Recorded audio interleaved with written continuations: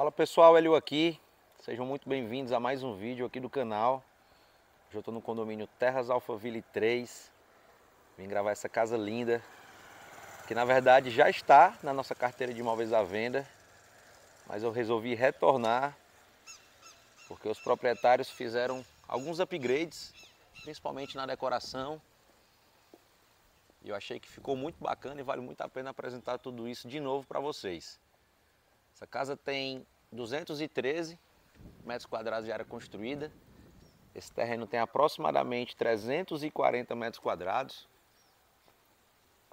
Uma casa que tem uma arquitetura bem bonita, tem uma pegada moderna, mas ao mesmo tempo um pouco rústica. A gente tem linhas retas, vidro, pedra natural, um paisagismo bem bonito. A gente tem uma parte aqui de capim texano, uma carnaúba, que é uma árvore aqui da, da nossa terra, uma espécie de palmeira, se eu não me engano. A gente tem aqui duas vagas de garagem cobertas, aqui duas vagas de garagem descobertas, aqui uma grande pele de vidro que pega tanto na frente da casa como nessa lateralzinha aqui, uma grande porta pivotante de madeira com um complemento de madeira até lá no forro da casa. Uma arquitetura realmente bem bonita. Aqui uma pedra que eu sou simplesmente apaixonado, que é a pedra fogo. Que apesar de ser uma pedra natural, dá um ar muito sofisticado para casa. Aqui a gente tem um recuo lateral de um metro e meio. E aqui outro recuo lateral de mais um metro e meio. A casa é totalmente independente da casa vizinha.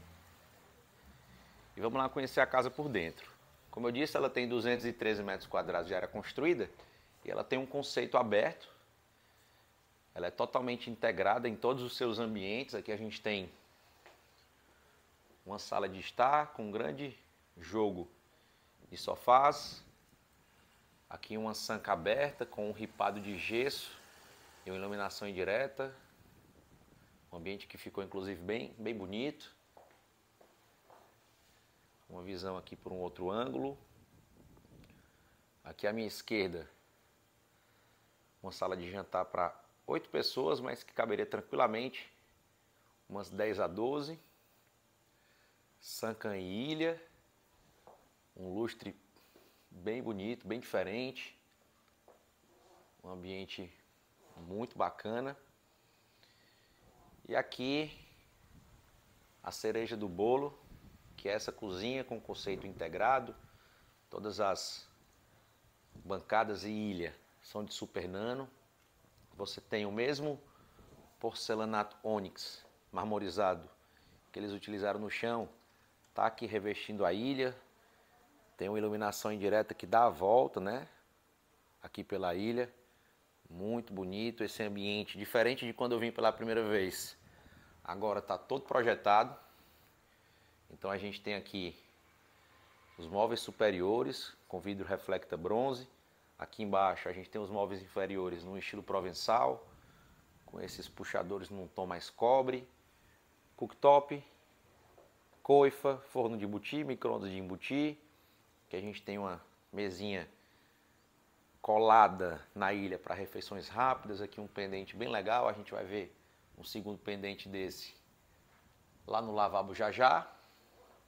E aqui, pessoal, a integração da casa, da parte íntima da, da parte social da casa com a varanda gourmet, né? Ligação da cozinha, sala de jantar e sala de estar com a varanda gourmet. Esquadrias praticamente piso-teto, quatro folhas que recolhem para um lado, ou recolhem para o outro lado, e aqui a gente tem um ambiente de TV e de refeição, né? A gente tem uma mesa aqui de oito lugares. E aqui nas minhas costas a gente tem o ambiente do guerreiro, né? Uma bancada com dois lugares de granito São Gabriel. Na verdade, um balcão, uma bancada, churrasqueira emoldurada com granito São Gabriel. Essa parede toda ela tem um revestimento marmorizado, uma peça cinza bem bonita. E aqui, pessoal, é uma visão da varanda gourmet vista por quem está fora, por quem está no jardim. E aqui é uma visão do quintal visto pela varanda gourmet. Na minha opinião, um dos pontos fortes dessa casa é o tamanho desse quintal. Eu diria que a gente tem aqui tranquilamente entre 80 e 100 metros quadrados de área livre. Um detalhe legal é que essa casa não tem o vizinho de fundos, então não tem o vizinho aqui de trás para tirar um pouco da privacidade. E essa é a fachada posterior da casa. Eu acertei no horário que eu decidi filmar essa casa. Tá muito lindo hoje o dia. O céu tá muito azul.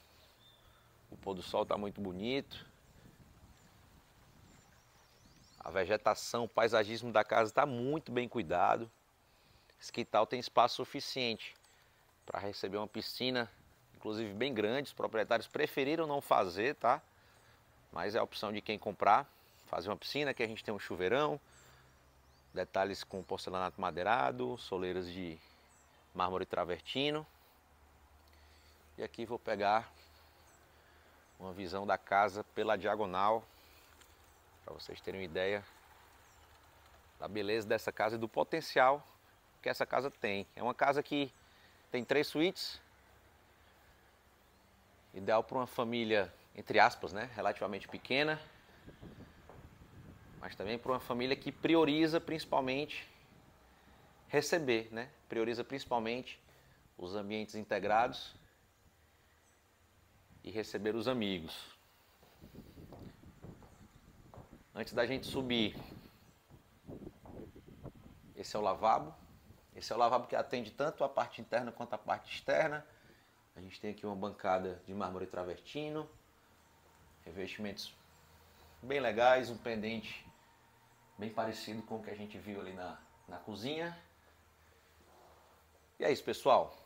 Esse é o pavimento inferior. Vamos lá para o segundo pavimento. Então, continuando, estou no hall de circulação que dá acesso às três suítes. Aqui a gente vê o inversor da energia solar. É praticamente obrigatório hoje, numa casa de alto padrão, ter energia solar. E aqui a gente tem as três suítes. Essas suítes, pessoal, ainda não foram 100% mobiliadas, principalmente nos closets, porque já existe no proprietário há algum tempo a vontade de vender a casa, então ele pensou em não fazer os closets agora, certo? Mas a gente tem quartos aqui de mais ou menos 12 a 13 metros quadrados, quartos com um tamanho muito bom, Aqui a gente tem cama, cama casal, janelas grandes, né? Bastante entrada de iluminação, de ventilação, espaço suficiente para mesa de estudo, para local de maquiagem. E as três suítes têm closet, certo? Dessa forma que está aqui, está improvisado, mas obviamente quem está assistindo esse vídeo não vai comentar nada sobre isso, porque eu já falei que isso aqui é provisório e quem comprar vai ter que fazer seu closet, tá bom? E aí, aqui o banheiro da primeira suíte. Detalhe legal, todas as cubas são esculpidas em mármore travertino. E a casa tem grandes nichos também de mármore travertino.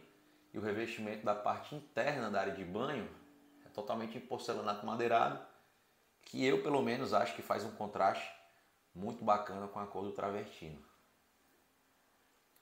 É um banheiro com tons muito harmônicos, eu acho. Acho que é um banheiro que tem muita harmonia com relação a cores e a escolha dos revestimentos.